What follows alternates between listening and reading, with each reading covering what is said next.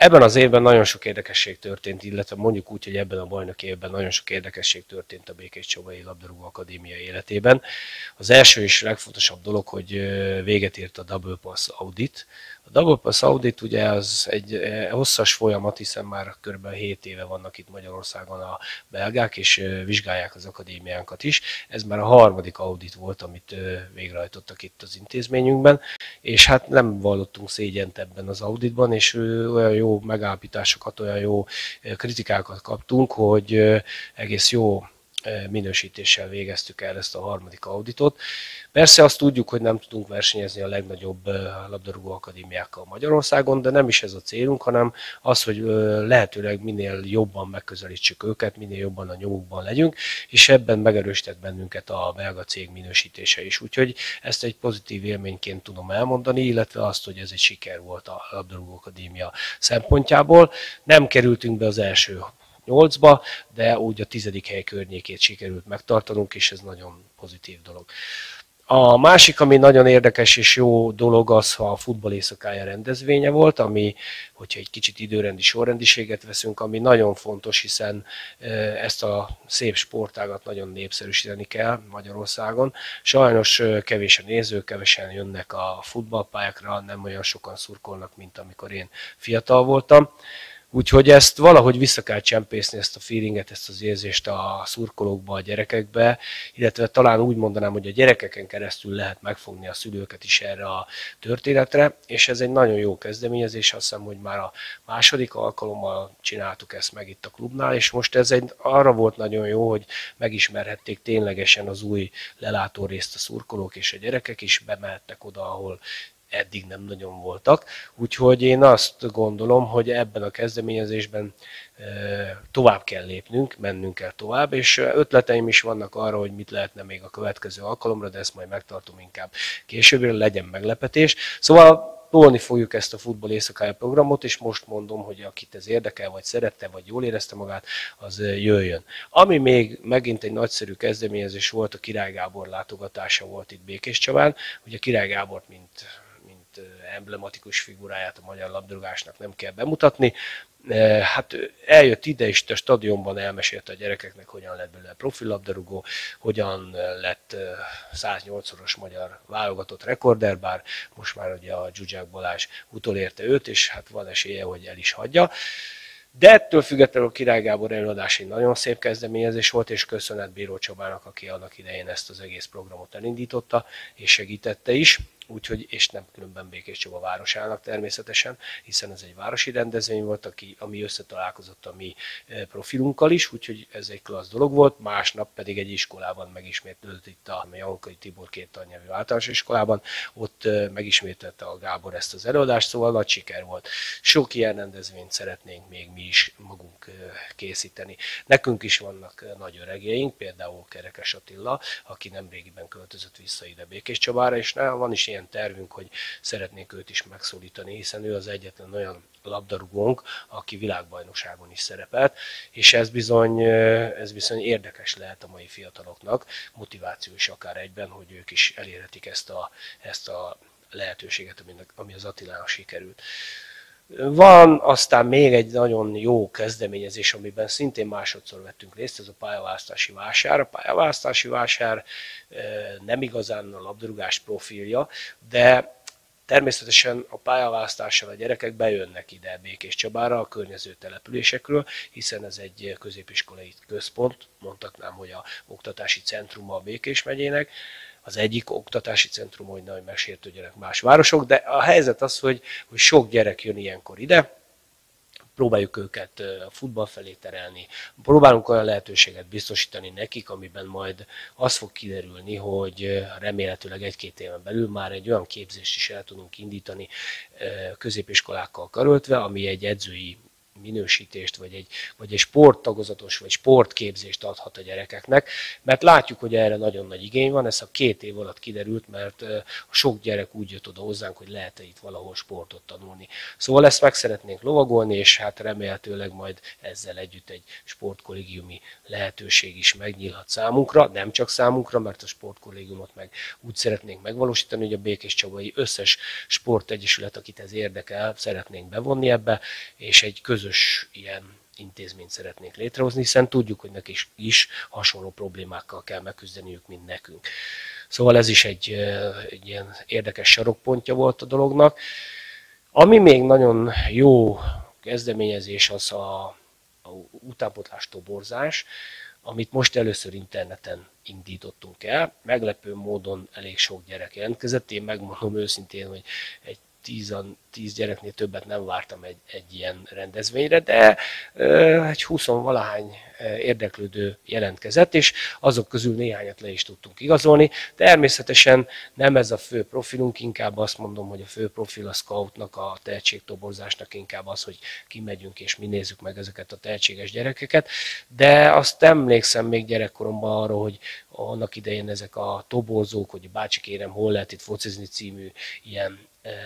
hát ilyen kiválasztó, ez milyen népszerű volt, és ezt próbáljuk egy kicsit visszahozni. Én szerintem fogjuk folytatni, lehet, hogy nem pont ilyen formában, de valamilyen módon biztos, hogy megyünk majd ezzel tovább. Ami még fontos lehet itt, ugye mindenki meg szokta kérdezni, hogy milyen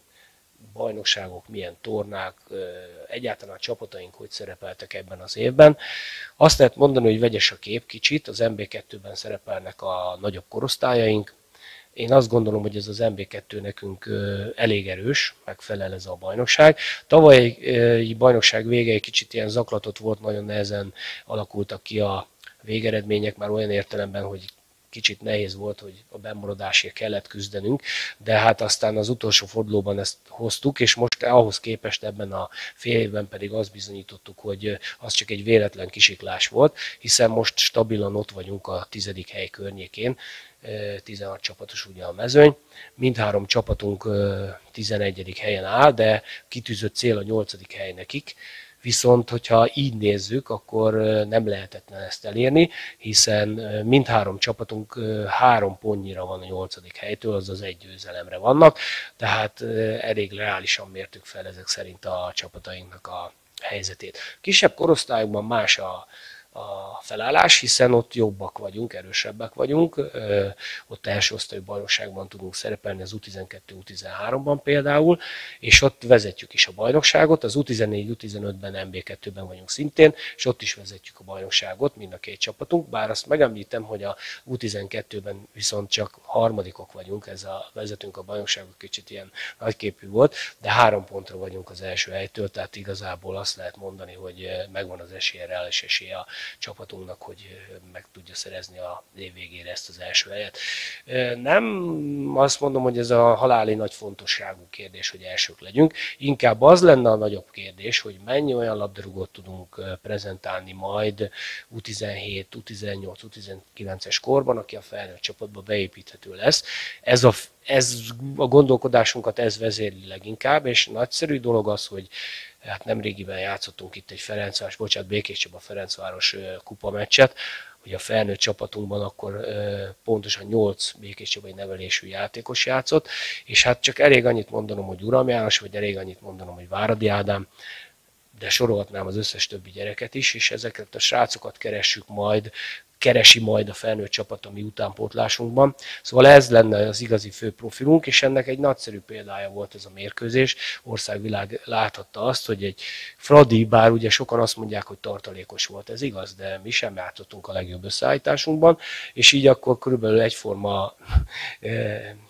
keverési arányjal indult a két csapat. Természetesen a Ferencváros 10 mérkőzésből valószínűleg 9-szer megverne bennünket, de pont ez volt az a mérkőzés, ahol nem következett be ez a szitu, hanem pont az ellenkezője, és hát hogyha valamire büszke is lehetek, akkor azt, azt tudnám mondani, hogy ez az igazi békés csabai mentalitás villant meg ezen a mérkőzésen. Ezt szeretnénk mi a gyerekeinkbe átplantálni, ezt szeretnénk beléjük nevelni, hogy a mostani fiatalok játszanak úgy, mint annak idején Vágási Pásztor Láza, Kerekes Attila, és vigyék ezt a, ezt a vehemenciát, ezt a küzdeni tudást, ezt a viharsarki érzést, ezt vigyék tovább, mert azt gondolom, hogy ezzel is lehet szép sikereket elérni. Köszönjük a szurkolóknak, hogy sokan támogattak ezen a mérkőzésen bennünket. A felnőtt csapat is az utánpotlás kapcsolatával most ugye rátértem erre is, hiszen már erről beszéltem a Fradi meccs kapcsán. Annyit szeretnék még mondani, hogy jól alakult a Mikulás program,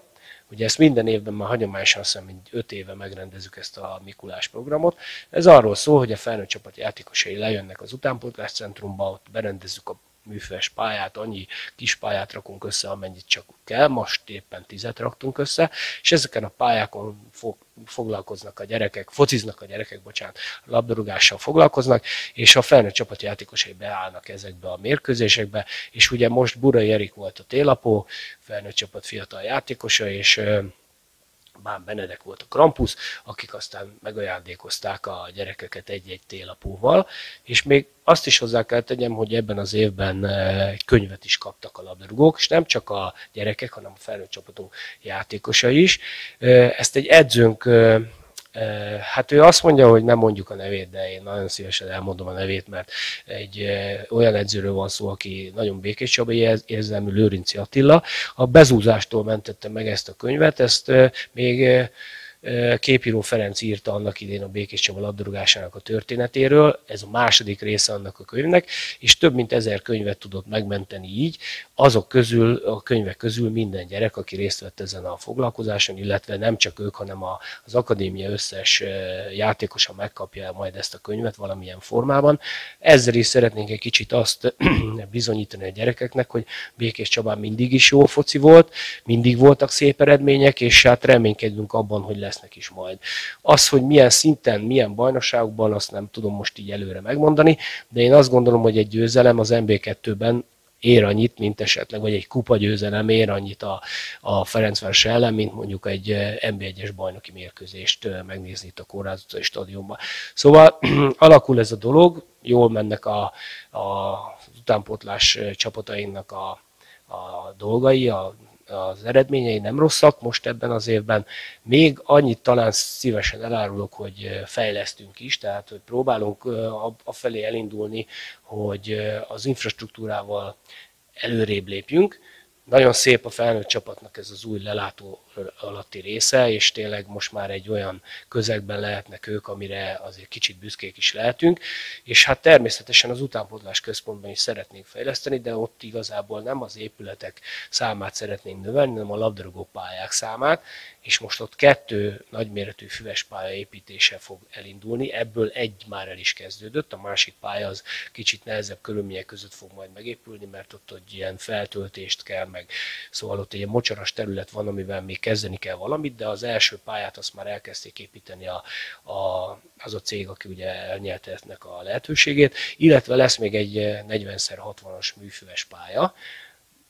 kérdezhetné bárki, hogy miért kicsi. Hát azért kicsi, mert ezt majd valamikor, amikor majd úgy alakul anyagilag, akkor szeretnénk befedni ezt a pályát, azért, hogy ennek a Békésebbi utánputás centrumnak is legyen egy télen egy téliesíthető, fedett csarnoka, amiben aztán meg tudjuk oldani a gyerekeinknek a téli edzés, edzéseinek a megtartását. Szóval megyünk előre. Én azt gondolom, hogy nagyon sok buktatója van ennek, tehát nem olyan egyszerű itt egy klubot felépíteni, nem olyan egyszerű itt mondjuk úgy, hogy mindenkinek megfelelni. Igazából mi a célja a Békés Csabai Labdarúgó Akadémiának így búcsúzóval azt szeretném elmondani. Három nagyon fontos dolgot emelnék ki. Az első, hogy próbáljunk minőségi labdarúgókat nevelni a felnőtt csapatunk, és ezen keresztül az egész magyar labdarúgás számára egy titkot elmondok, nem nagy titok, de Békés Csaba adja,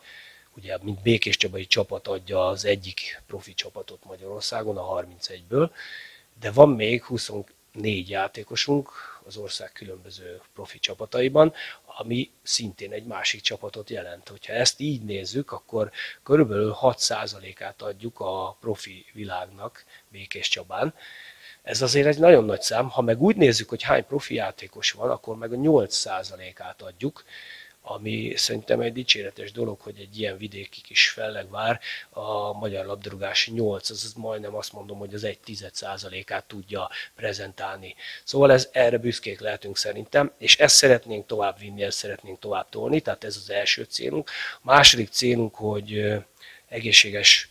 embereket szeretnénk nevelni, olyan embereket, akik, akik sportolással és testük építésével fognak foglalkozni, akkor is, amikor már mondjuk idősebb korba érnek, nem hanyagolják el ezt a lehetőséget. És a harmadik, ami, ami szerintem még egy nagyon fontos lépcsőfok, hogy azon keresztül, hogy az élvonalnak, illetve a magyar labdarúgásnak adunk labdarúgókat, a grassroots futballnak is egy nagy bázisát szeretnénk kialakítani itt Békés megyében, mert azért egy kicsit szomorú vagyok akkor, amikor ránézek a Békés megyei első osztályú tabellára, és azt látom, hogy 8 csapat van ebben a tabellában éppen most. Én nagyon emlékszem még azokra az időkre, amikor 18 csapatos megy egy osztály volt itt Békés megyében, és hát ezért azt szeretnénk, hogy minél többen felnőtt korukban, nem is profik, de megtalálják a lehetőséget az amatőr labdarúgás szépségeiben, és focizzanak, játszanak,